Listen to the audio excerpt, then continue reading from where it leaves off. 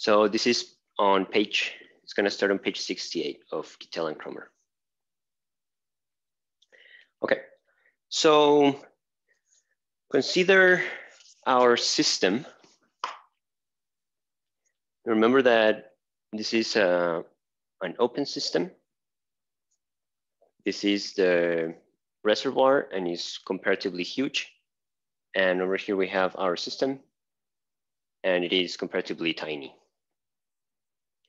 Okay, so if we control the temperature of the reservoir, because they are in, in thermal contact and in thermal uh, equilibrium, then the temperature of the reservoir is going to be the same as the temperature of the system.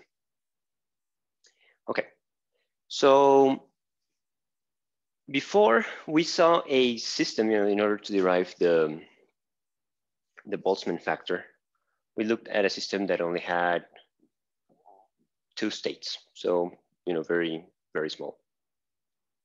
Uh, this other system that we're going to consider um, is much bigger. You know, has a very large number of, of energy states, so many that they're very close together in energy. But still, you know, your reservoir is much bigger. You can always find uh, a reservoir that is big enough, so that's a good thing. Okay, so the probability, you're gonna have two probability distributions for this situation. So this is gonna be your energy axis. Uh, I'm gonna use E, uh, E, although probably I should call it U, but let's stick with that. So this is your probability. The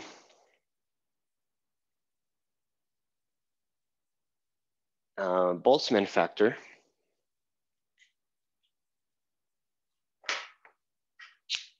how did it look, the Boltzmann distribution, sorry? Or yeah, I guess in this case, Boltzmann factor.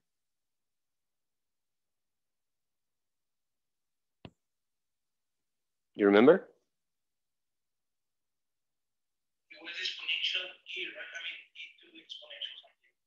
Yeah, e to the?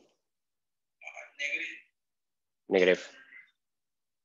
So it look kind of like this, right? So e to the minus uh, the energy divided by the temperature. So by changing the temperature, which in this case is a parameter, and this is like the, it's a function of the energy with a parameter temperature, you could change the shape of this, of this curve.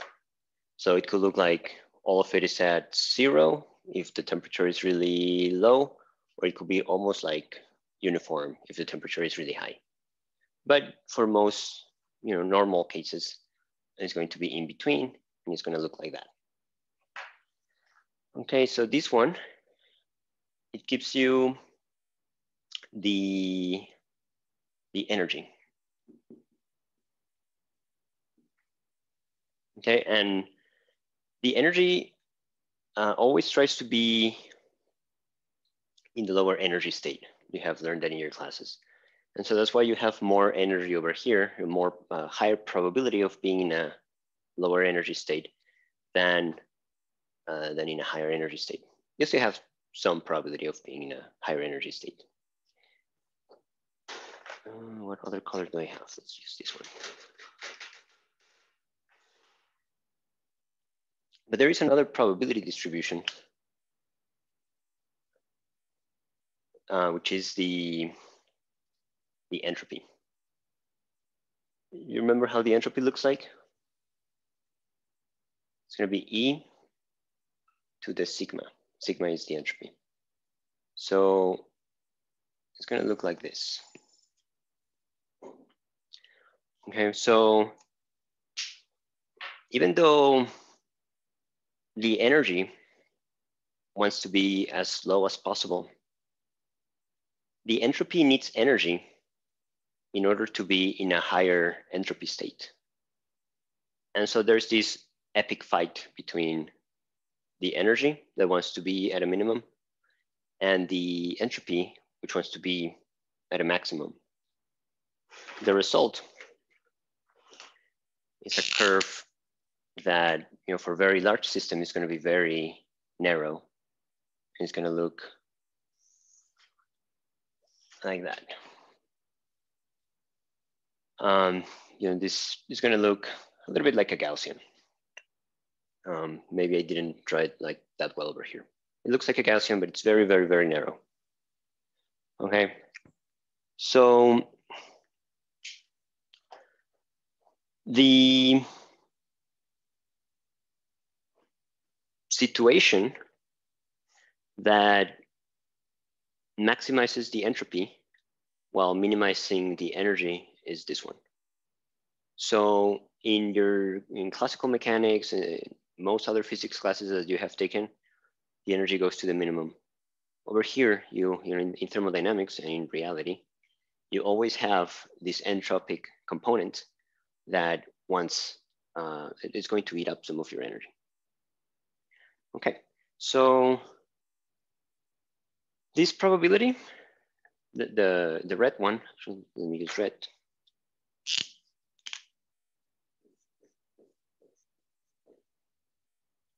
It's going to be proportional to the energy term and times the uh, entropic term. So this is equal to exponent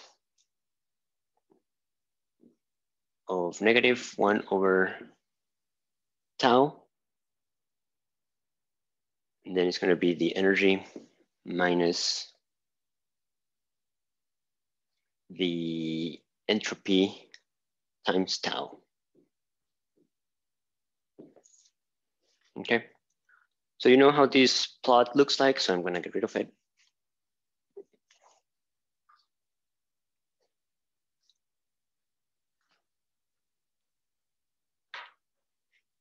Um, if we want to maximize this function to you know find at what energy it, it has a peak, then uh, we can just look at this part over here in the exponent.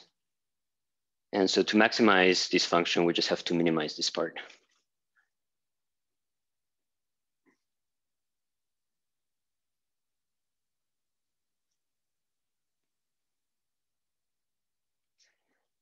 Okay, so if we take the, the derivative,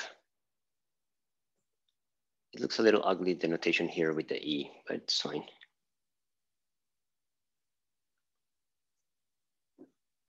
make it equal to zero, then you get, you can find what the, um, the energy is uh, of the peak.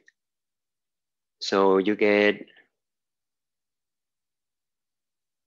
um, I guess you can take the temperature out. You're gonna get one minus temperature, uh, derivative of the entropy with respect to the energy. That is equal to zero.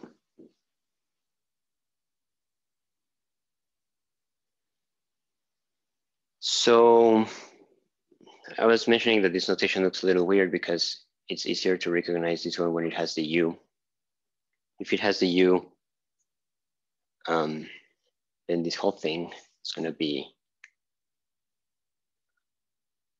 the sigma, the U equal one over tau. And we have seen this one before. Where did we see it?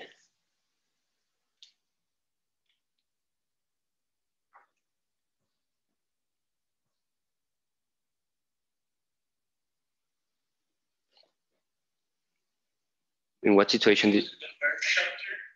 What's that?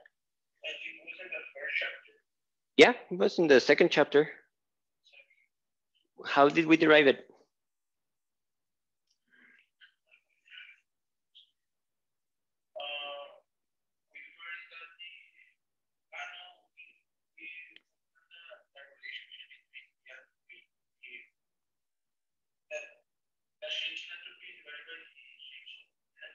Yeah.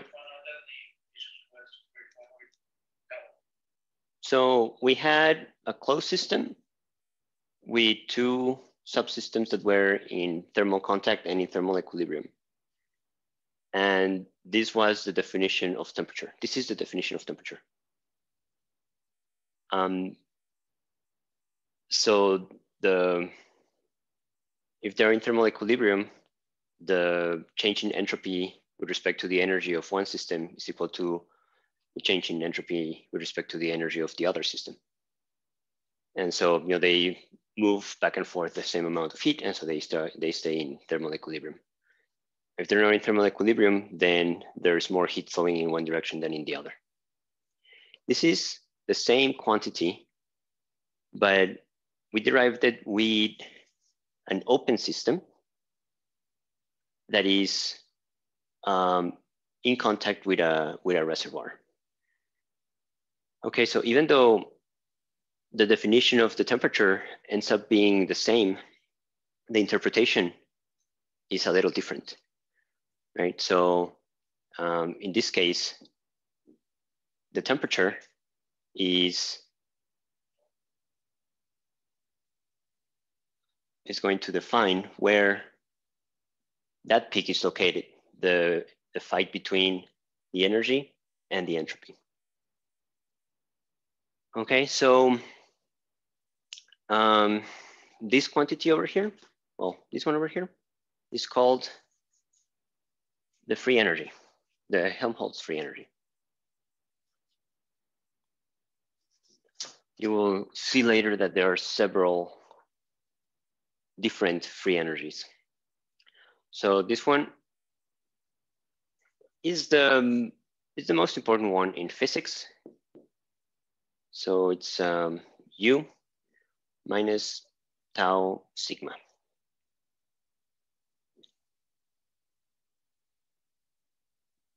This is uh, equation uh, 3.35.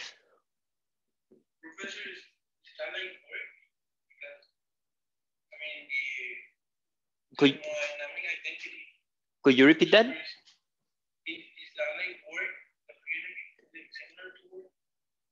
Mm, we will we will we will look at it. Um, it is related to work, but it is not work. So,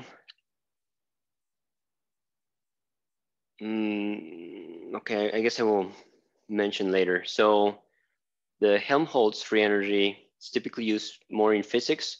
There's another one that is called the Gibbs free energy that is used more in chemistry, and that is because of the uh, variables that you can typically measure you know, in, a, in an experiment. Okay, so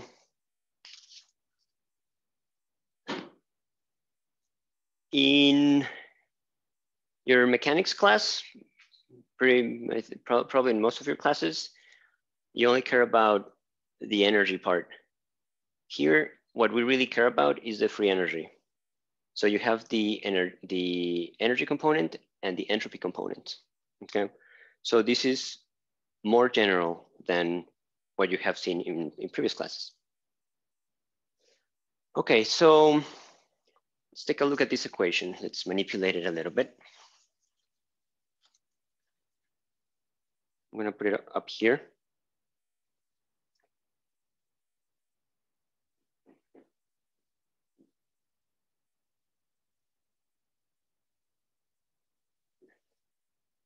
So consider reversible changes.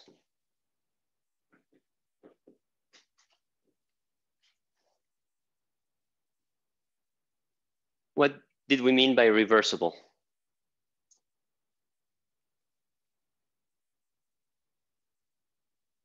The change in entropy was zero, right? So you could move along and, and uh, uh, an adiabat or an isentrope.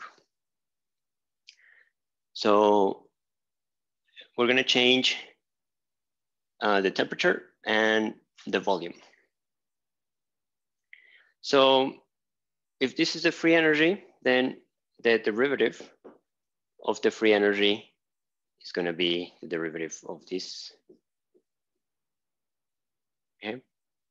And so this is going to be du minus uh, tau d sigma minus sigma d tau. Right, so just the product rule over there. So consider first uh, temperature changes, volume remains constant.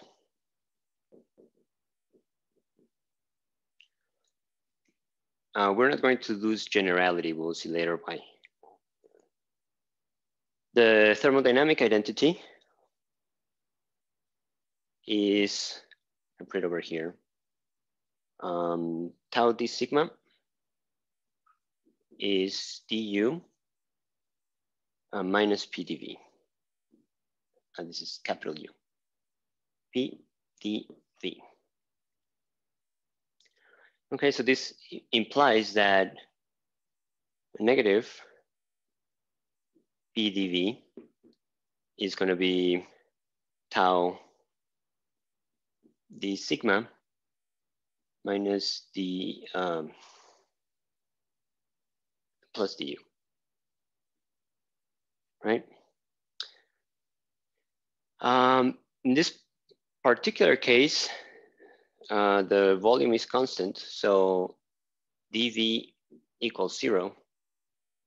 So this whole thing is going to be equal to zero. Okay. And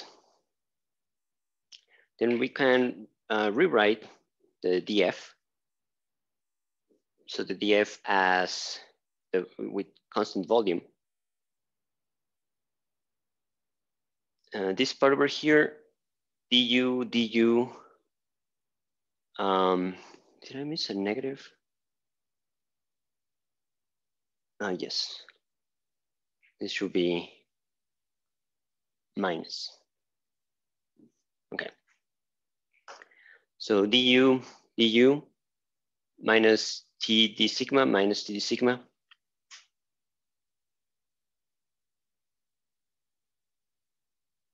So we can rewrite this whole thing as negative sigma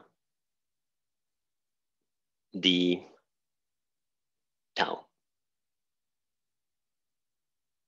So this plus this equals zero. Cool. So that is a good relationship to know. So if we move, if we move the d tau over here, we can rewrite this as a partial derivative of the free energy with respect to the temperature at constant volume equals negative sigma. Okay, this is equation 3.49.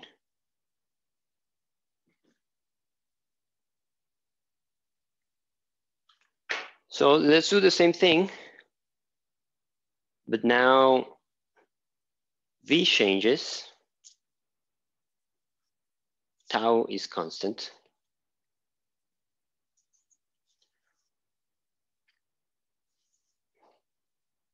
So we have our minus PDV here again.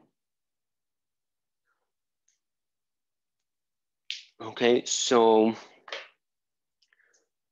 now this is at constant temperature.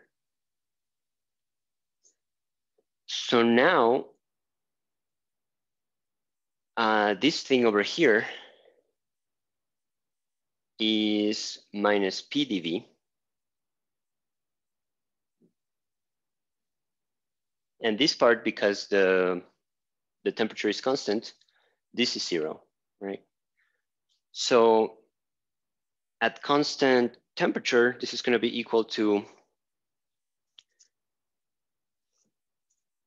minus P dV.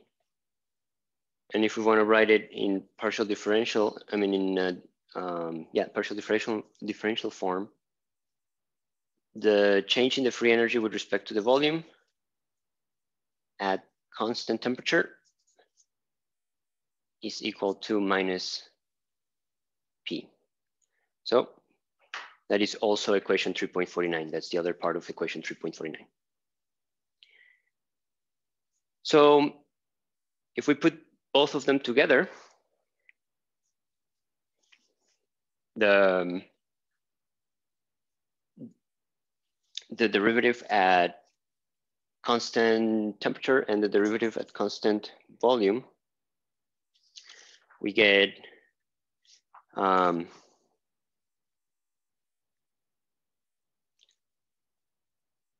mm, oh, I have this one.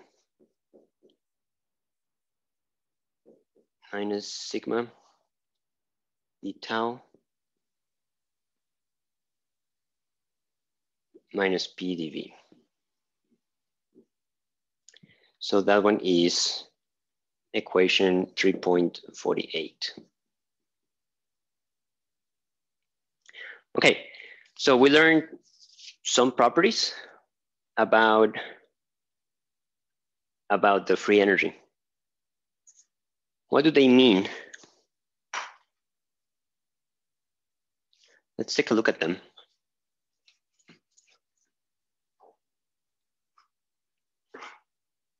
Let's analyze this one first.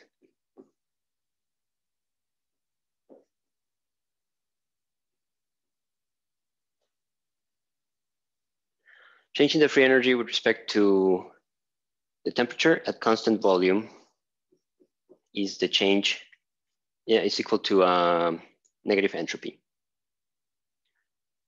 Or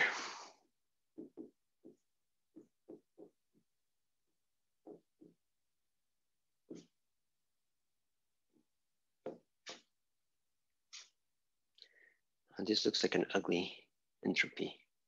Okay. We have our reservoir and our system.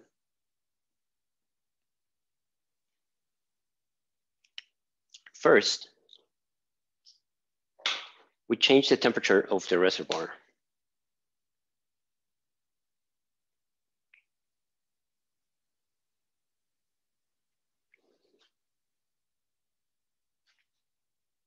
What's going to happen to the temperature of the system?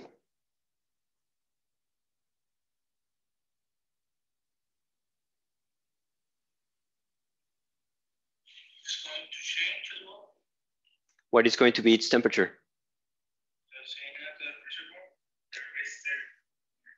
So change temperature of the reservoir. Um, system, oops.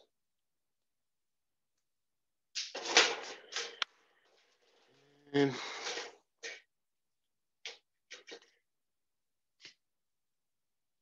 system uh, and reservoir are in thermal contact and thermal equilibrium. So temperature of the of the reservoir of the system changes. Sorry, all my markers are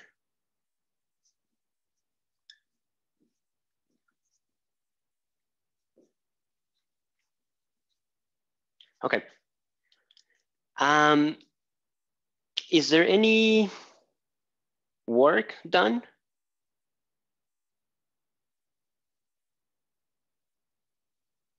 No. Why not? The volume is constant, so there is no no work done. Uh, but is there a heat transfer or an energy transfer? So how come we put energy or take energy out? We put energy into the, the system. It does no work. What happens to that energy?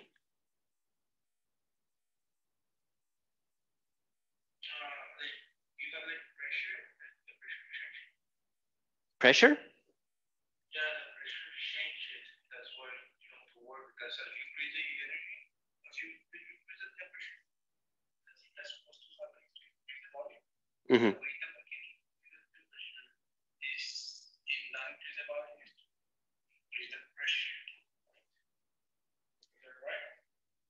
That is true, yeah. So the insight here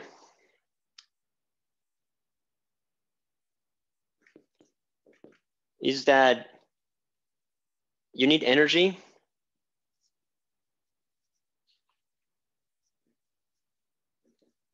to maintain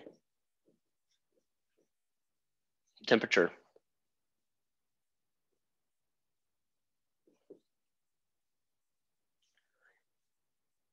So this energy is not done, it's not used to do any work.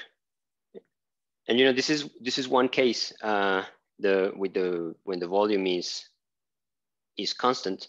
Um, but in general, you know, any system is going to be a combination of this one, constant volume, and the other one, constant constant temperature. Okay, uh, you can describe it using those two. So this energy that goes that flows into the system to increase its uh, its temperature is locked in there. You cannot use it to do work. So you pay a penalty tax essentially. You know, like the system is going to want to keep some of that uh, for itself. You cannot use it. It's just a consequence of of uh, them being in thermal equilibrium. So when we talked before about the the heat death of the universe, that's going to happen when all the energy of the universe, you know, the, the energy is not going to disappear, but all the energy of the universe is going to be locked, uh, you know, just to keep the temperature, to maintain the thermal equilibrium uh, of the universe. So that's why this is called a free energy, right? You have the regular energy, but it also includes the, the entropic penalty tax. And Alejandro, you mentioned pressure. So let's take a look at that.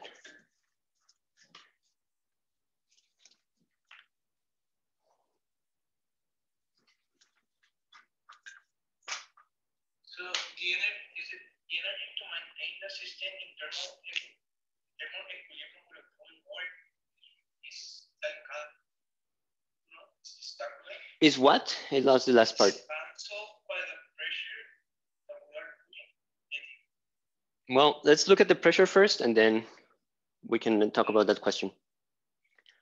So the other one was that the change in the free energy when you change the volume at constant temperature is minus the pressure.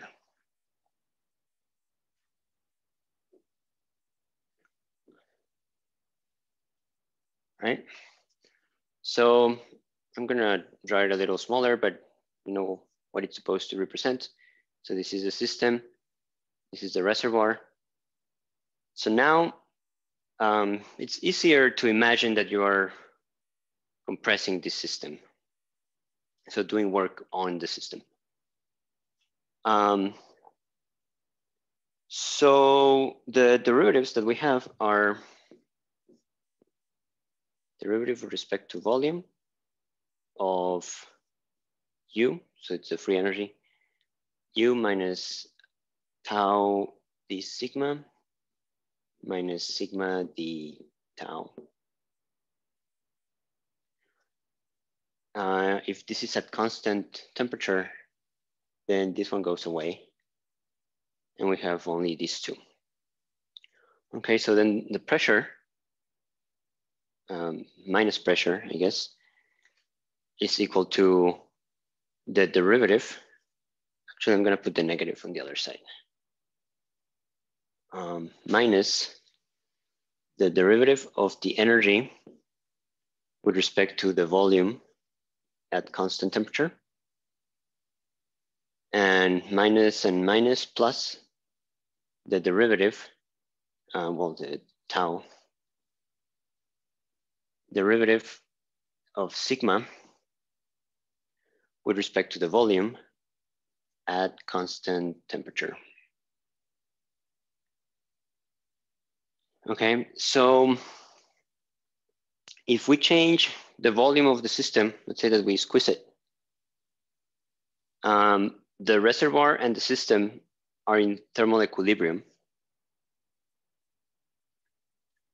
So you know, the temperature has to remain the same. Oh, this one is down. What's going to happen to the to the energy?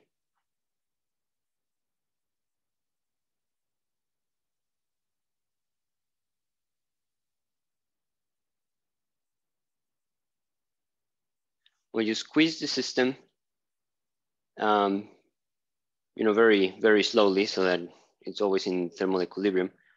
But when you compress the system, the energy, you know, the, the temperature is going to increase. The molecules are going to start um, moving a little bit faster, but because they are in thermal equilibrium with this huge reservoir, uh, that excess energy is just gonna move to the reservoir. Okay, so you squeeze the system, the, the energy goes to the reservoir. If you just grabbed this system, you know, perhaps like a balloon or something, and you just expanded it, then heat will flow into, into the system. Okay, so there are two sources of pressure. This is one, and this is the other one. I'm going to get rid of these.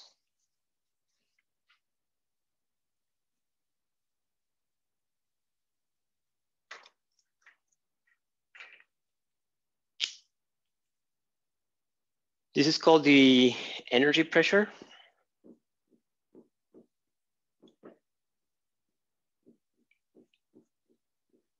Which I think you mentioned before, Alejandro. And this is the uh, entropy pressure.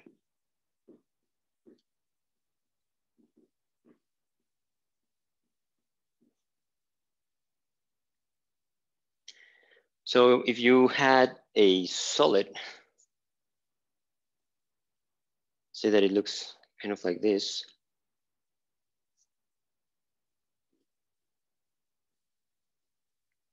It has some atoms in here, but they are trapped in a lattice. You know, this is a crystal. Um, in a solid, the positions of the atoms are pretty are pretty pretty much fixed, right?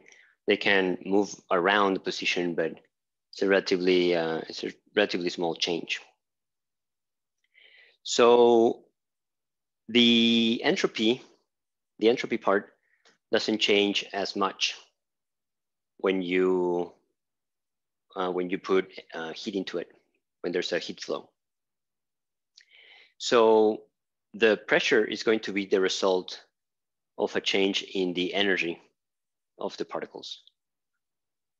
Right? You use this is the, the typical solid behavior. You squeeze the solid. Uh, these atoms are going to have more kinetic energy. They're going to start vibrating faster, but around the, the same position. If you keep the volume constant, then you know that increased energy is going to increase the pressure. If, on the other hand, you have a gas, like a balloon, and you put um, there's a, a heat flow, you put some energy into the system, then the gases are pretty much free to move, you know, anywhere they want. So the way they are going to increase the pressure is by increasing their entropy. So increasing you know, the where they can be. And that's why you know, the, the volume is going to increase, while here the volume doesn't increase much. So the energy pressure is the main mechanism uh, by which pressure changes in solids. And the entropy pressure is the main mechanism by which entropy um, pressure changes in gases. Can there be a change in entropy? Will it be a change in energy? I mean, yes, but I uh, like expanding, volume expanding. Could, could you repeat that? Okay, the the volume is expanding or The volume is expanding, yes. Okay. Can there be, like, in order to be, to, in order to expand, we have to put energy, right? Can we not put energy and it still expand, like, like, just by changing the entropy or something like that? Um, You understand? Yes, I understand what you're saying. Hmm.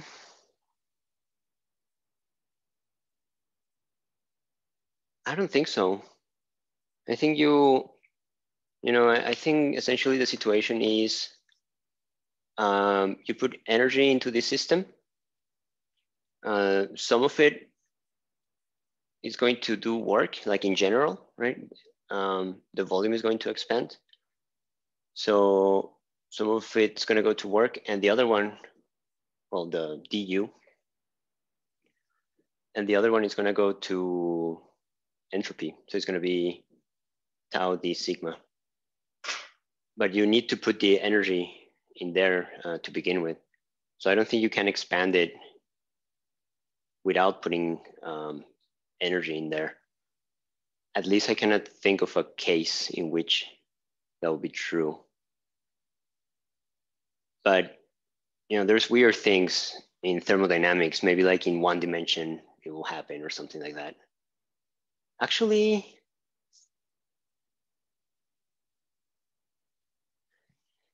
yeah, I think it might happen in one dimension.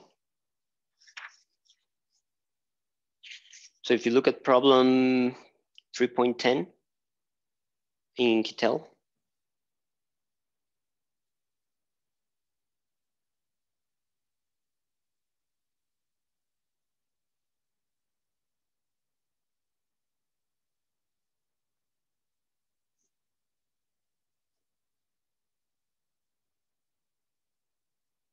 force is proportional to the temperature. Force arises because the polymer wants to curl up. The entropy is higher in a random coil than in an uncoiled configuration. So, you know, it might be that case. But I think, you know, for most three-dimensional real world applications, um, this, this is true.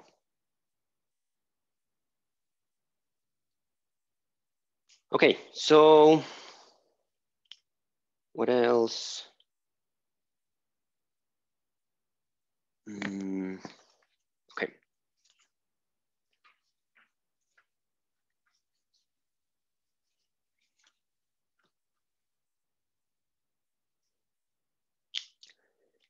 So just very quickly, minus PDV at constant entropy is du at constant entropy minus PDV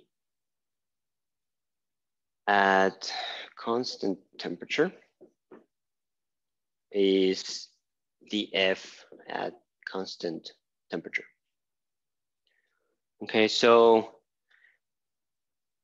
uh, this is the equation that describes what happens in, in a closed system. And this is essentially what you have seen in mechanics, right? So here the pressure is um, dVdu. When the system is open, you have pretty much the same thing, except that instead of the regular energy, you have the free energy. So the free energy plays the role of the energy in open systems. So the other thing that it's important to keep in mind, the second derivative of the free energy, I guess the partial derivative of the free energy with respect to the volume and with respect to the temperature is equal to the partial derivative of the free energy with respect to the temperature and then with respect to the volume. Right, so partial derivatives commute. You can apply the derivative in whatever order you want.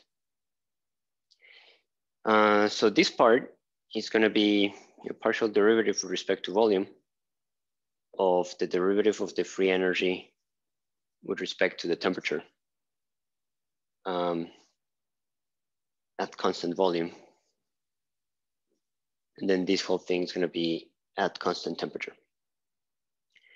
That is equal to the derivative with respect to the temperature of the derivative of the free energy with respect to uh, the volume at constant temperature.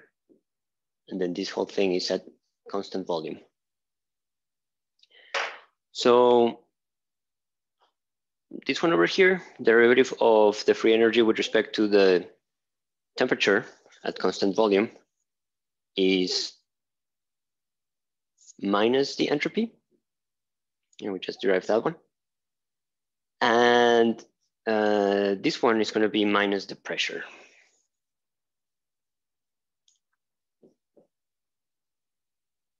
Okay, so if you want to write it more neatly, because we can get rid of the negative and negative. To write it more neatly, the derivative of the partial derivative of the entropy with respect to volume at constant temperature is equal to the partial derivative of the pressure with respect to temperature at constant volume. So this is equation 3.51.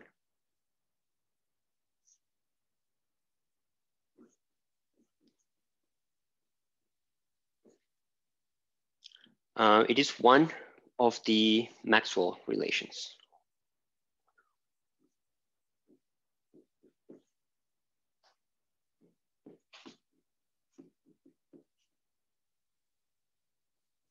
So in many uh, thermodynamics books, you will see all the Maxwell relations derived kind of in the same chapter or in the same section. Uh, in Kittel, they just derive them, you know, where where they are, where they appear.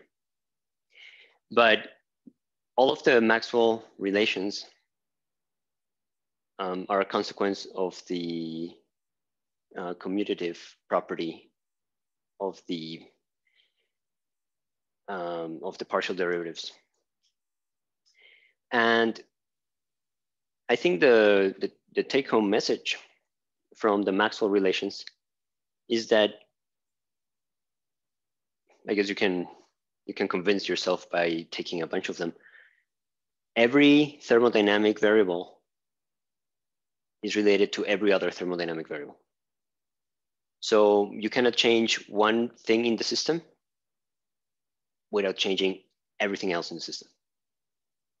It's a very, um, very well-oiled machine. And you know, it's kind of incredible that nature just solves these um, partial differential equations on the spot, right? We have more trouble solving them. Uh, so Maxwell, during his life, he was uh, definitely he was definitely famous, and he was famous because of his uh, mostly because of his thermodynamic relations. And after he died, I guess his equations, you know, in um, electromagnetism, became more famous than his relations in thermodynamics. But it is the same dude. Um, definitely one of the of the big names uh, in physics. All right, so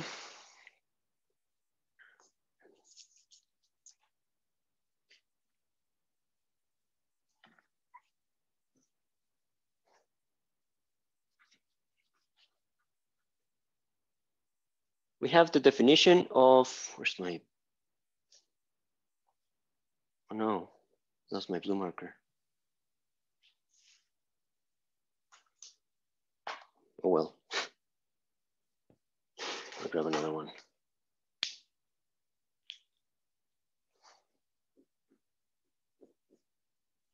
We have the definition of the free energy. And we know that delta, the change in the free energy with respect to the temperature at constant volume is equal to negative entropy, the negative of the entropy. So we can put the entropy back in here. So the free energy will be, or is, U minus tau, derivative of the free energy with respect to tau at constant volume. Um, and there was a negative here, so we have to put the, this one is positive. Okay, so this implies that the energy is equal to the free energy minus the Lannister that uh, tau change in the free energy with respect to the temperature at constant volume. Okay, so I'm gonna keep this one on this side.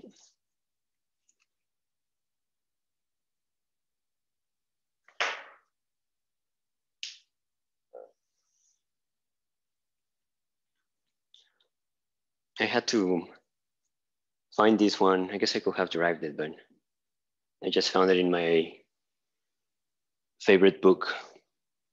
The derivative uh, of u divided by v with respect to the x is 1 over v derivative of u. This is not the energy, this is little u uh, dx minus u divided by v squared dv dx. And hmm. oh yeah, this is the favorite book, the tables of integrals and everything else. So um, in this case, we can say that u, little u, um, how can I change this u so that it looks different?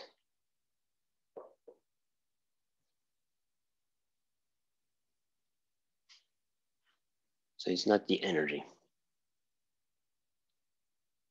It's equal to F uh, V is tau and um, X is also tau, which means that dx is d tau. So now we can write um, this part. So the derivative with respect to tau of the free energy divided by tau is going to be 1 over tau df uh, d tau minus f divided by tau squared. So this one d tau d tau. So this is just equal to 1 so we can get rid of it. Um, so then if we multiply it over here by negative tau squared, derivative with respect to tau of f divided by tau, um, it's gonna be equal to tau squared over tau df d tau minus tau squared f over tau squared. So we can get rid of these tau squares.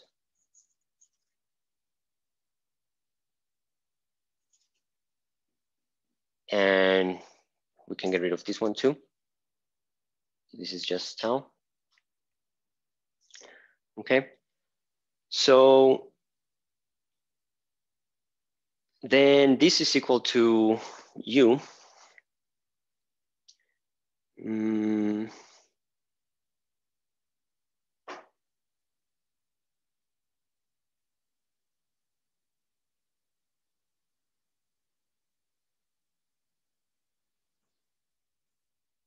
Mm.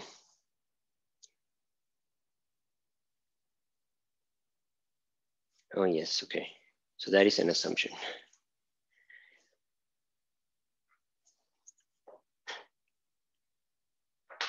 So let's say that U has this form.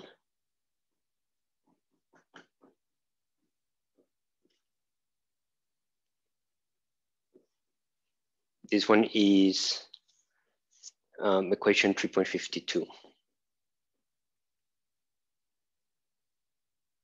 Uh, and now we're going to assume that f divided by tau is equal to a negative of the natural log of the partition function.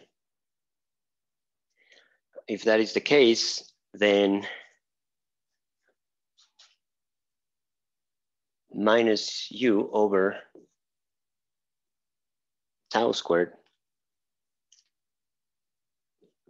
is negative partial derivative uh, with respect to tau of the natural log of the partition function. So u is tau squared. Mm, these negatives go become positive a partial derivative of the natural log of z with respect to tau.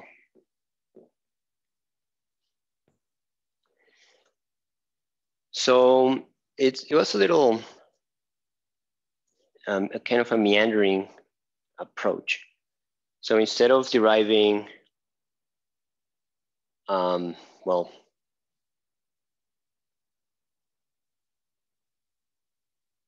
Now we have this one here, uh, which is the same as this one here. So that means that the free energy is equal to negative tau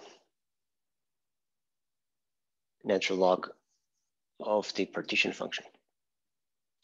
So it was meandering. They didn't derive it, or I guess Kittel didn't derive it directly. Um, he has the differential equation, um, assumes a form for it, and then uh, proves that uh, that form is equal to what you have for the energy. And so the two quantities have to be the same.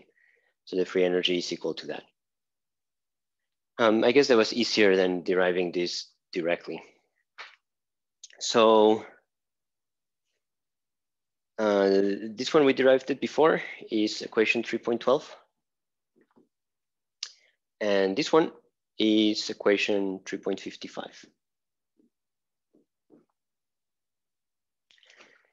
So this, this is a pretty important equation too. So if you know the partition function, then you can, you know the free energy also. If you know the free energy, because of the, um, because of Maxwell's relations, if you know the free energy, you can derive any thermodynamic quantity that you want about the system. Okay, so that's a powerful statement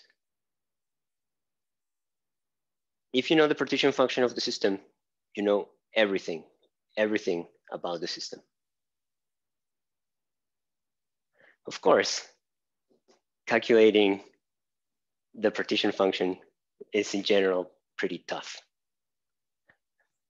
Uh, still, we're gonna do it for, you know, some simple systems. But isn't that amazing? I need validation.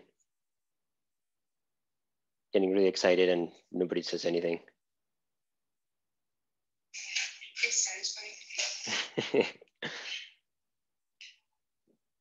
Everything you want to know, it's in the partition function.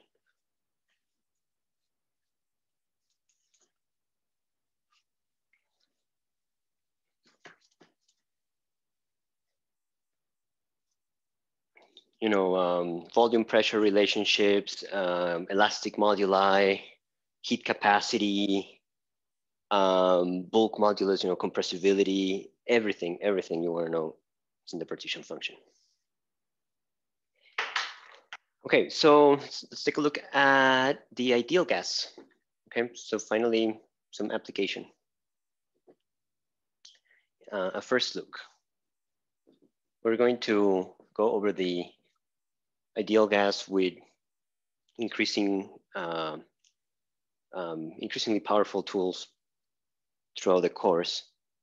So this is a first look of many. So this is on page um, 72 of Kittel and Kroemer. Okay, so what we're gonna do is we are going to compute the partition function.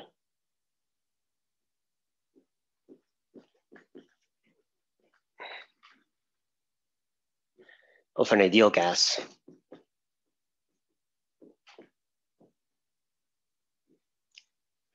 This is a very specific ideal gas. Um, it contains only one particle. Is it a gas if it only contains one particle? I guess that's a philosophical question.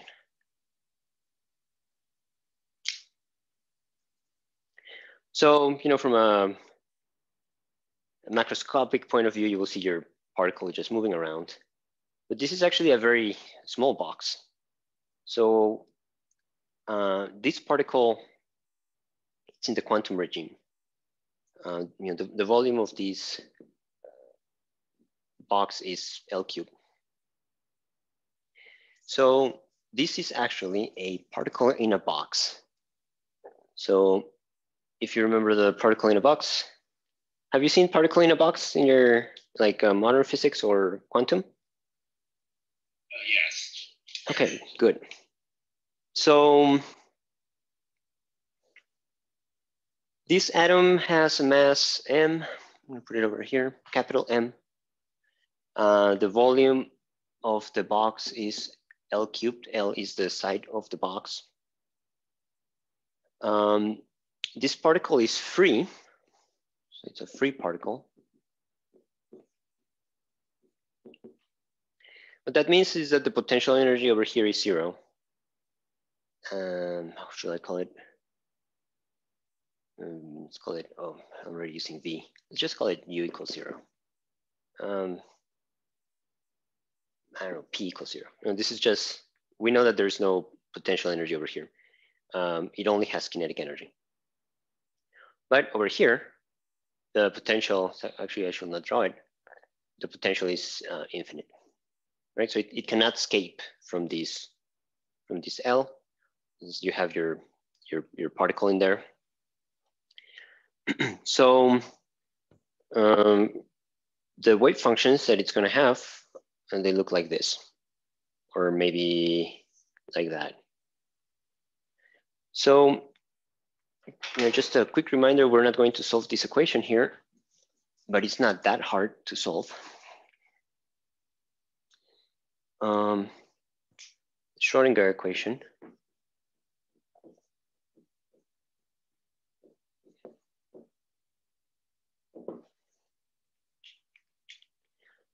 Minus h bar squared divided by 2m. And then the second derivative, um, well, the gradient, I guess. No, not the gradient, the, what is this one called, Laplacian? Anyways, the kinetic energy operator. Um, we don't have anything in the potential part, so this is just equal to the energy levels of the system times the wave function, right? So this is Schrodinger's equation. And the solution to this differential equation is, you know, in three, in three dimensions.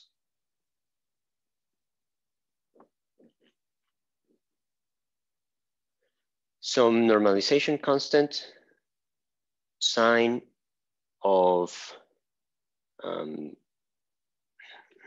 yes, nx i x divided by L uh, sine of n y i y divided by L sine of n z pi z divided by L. So this is the wave function. Well, I guess it was there.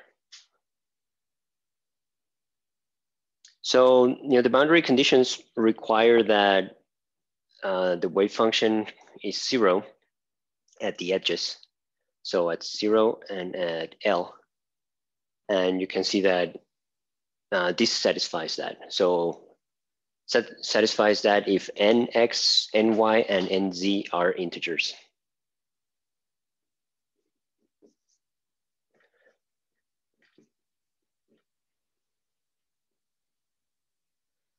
Right?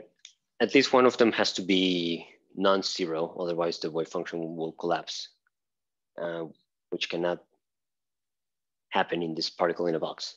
So this is equation 3.58. Question? So Professor, the particle has the weight of a particle, I mean, the weight of a particle is that really Yeah. So, you know, it's, I guess a simple case that you can think about is uh, if you're in this minimum energy state, which is just like half a sine function, a sine wave, um, you have that in every dimension, and it's going to look a little bit you know, like a sphere. Um, as you move in in energy, the the frequency has to increase to accommodate that energy, and you know, it, it might look a little different, it's still going to look somehow uh, somewhat um, spherical, but it will have more structure. But yes, this this is a three-dimensional uh, wave function. Okay, so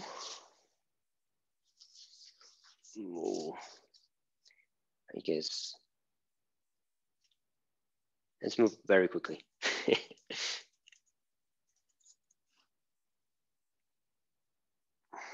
the energy levels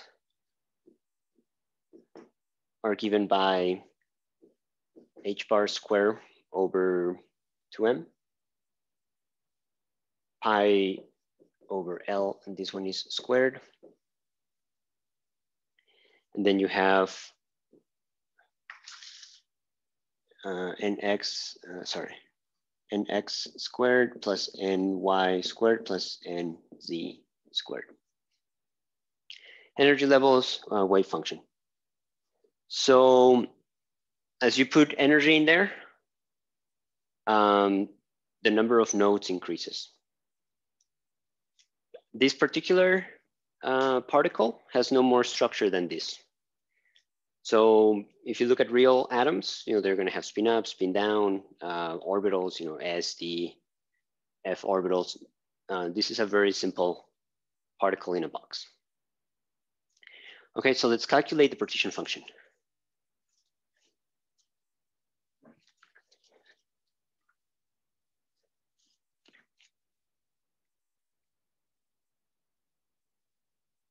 The partition function, the definition is the sum. Actually, let me should write a little smaller. Got too excited.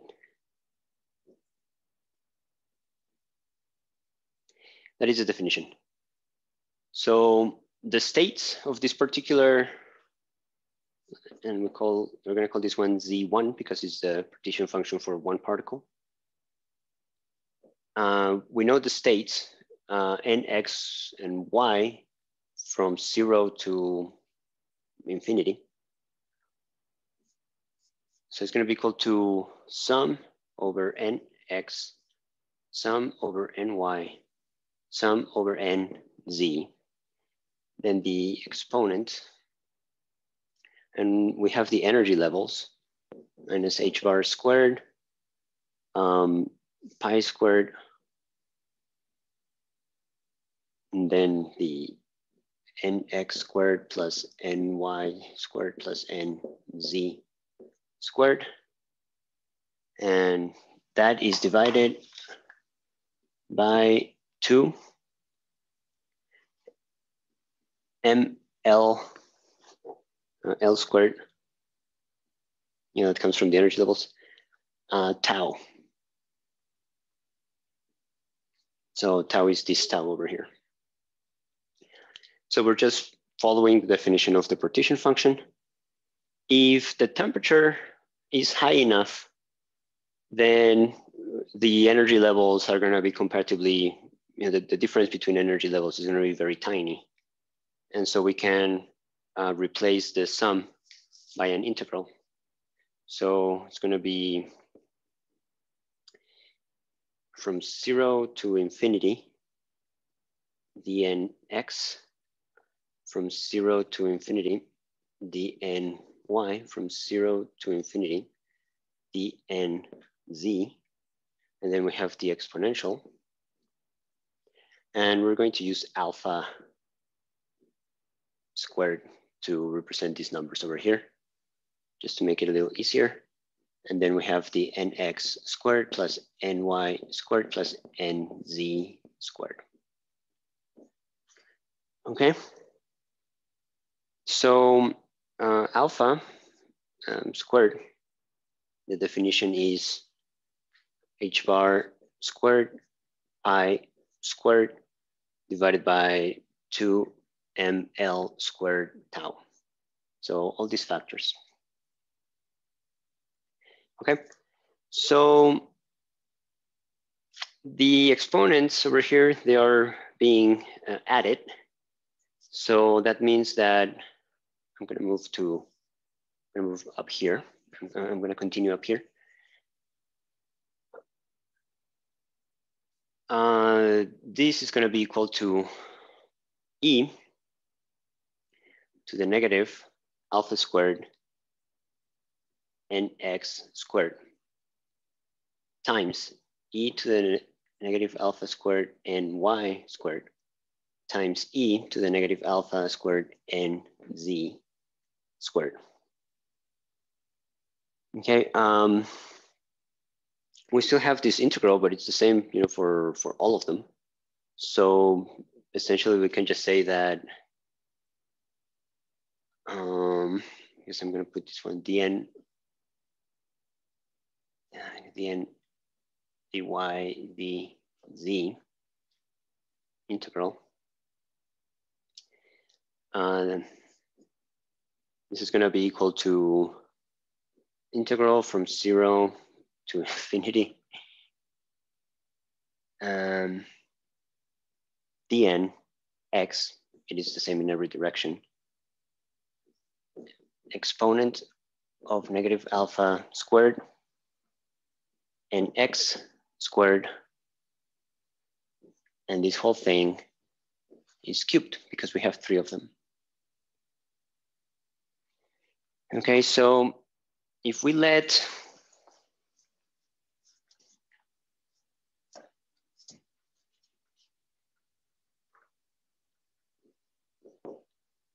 um, alpha squared and x squared be equal to x squared, then dx is going to be um, dx over alpha is going to be dn. I'm skipping a few steps. So we can rewrite this integral as you know, in terms of x, one over alpha cubed integral from zero to infinity of dx exponent of negative x squared. And this whole thing is cubed. So we saw this integral before. Um, the derivation, I guess the solution, is in Kittel and Kroemer equation A4. Okay, so go to the appendix. But we saw it before, and this looks ugly. A4. The solution to that is going to be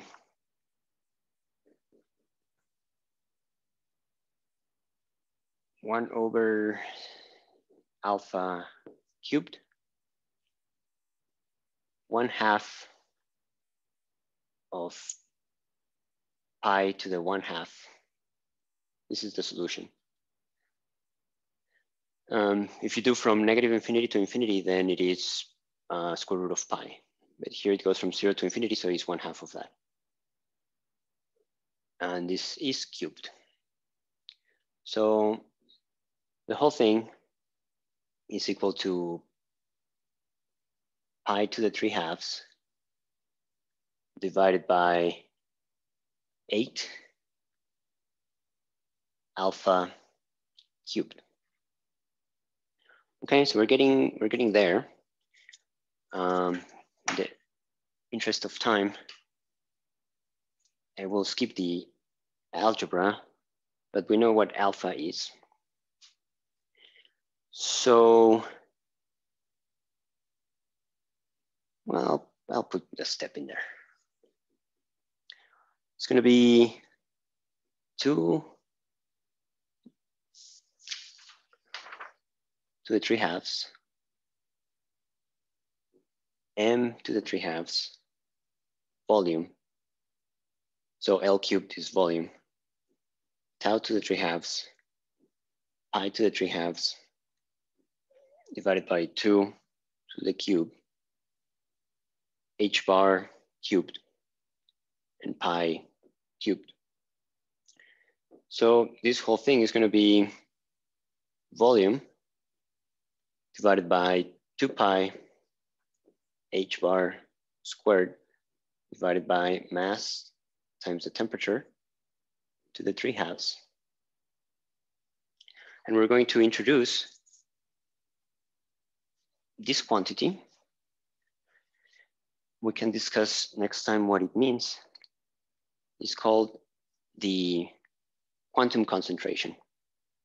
So the definition of the quantum concentration is um, m tau divided by 2 pi h bar squared to the 3 halves. So then the partition function is going to be um, nq, so this thing, times the volume. And another definition, N is going to be one over volume. So this is a concentration, a regular concentration. Um, I like to call it particle density. So there's no mass in here, but it is uh, density. So then they'll be equal to the quantum concentration divided by the particle concentration. Okay. So this is equation 3.62. Okay. So we can derive the partition function analytically in the case of a uh, ideal gas with one particle. In a box. So that's, that's pretty cool. And if you give me five more minutes, let's do that. We're gonna derive the, the energy. Anybody remembers the energy of an ideal gas?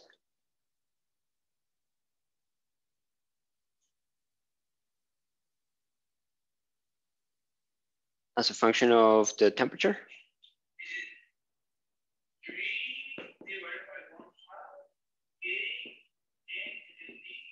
K. Uh-huh. Let's let's check. So prediction.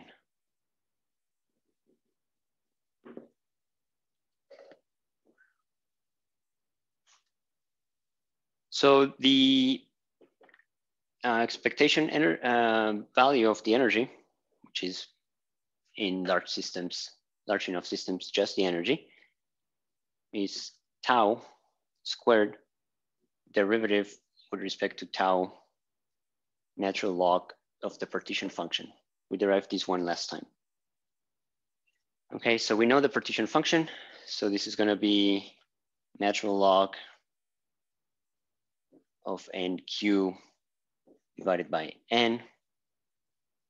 So that's gonna be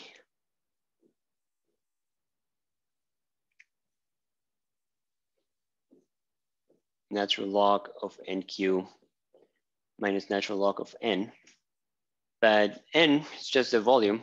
It doesn't depend on the, on temperature, so we can forget about it. So this is tau squared, derivative with respect to tau, natural log.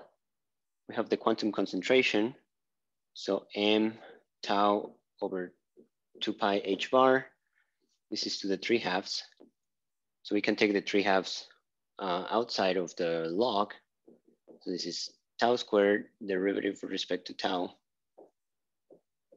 Three halves natural log of some stuff that I'm just gonna call gamma. And then this temperature dependence that we care about because we're taking the derivative with respect to the temperature. So uh, U is tau squared, 3 halves derivative with respect to tau of the natural log of gamma plus the natural log um, of tau. Gamma is everything else that is not tau, so we can forget about it.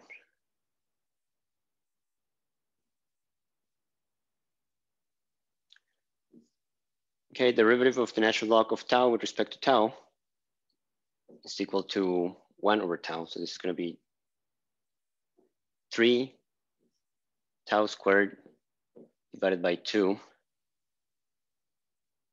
um, tau.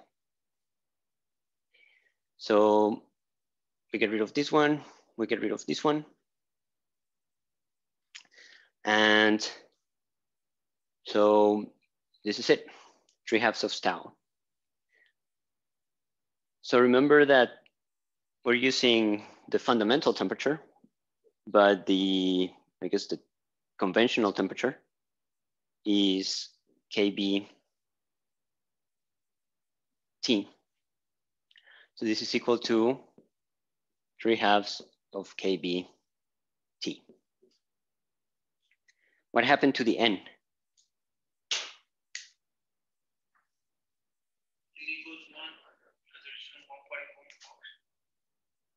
That's right. So it works. Nice, huh? Very pretty, if you ask me. All right, I'm gonna I'm gonna stop recording and